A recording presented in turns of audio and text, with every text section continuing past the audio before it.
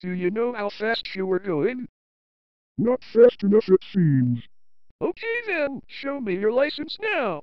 Smoke attack.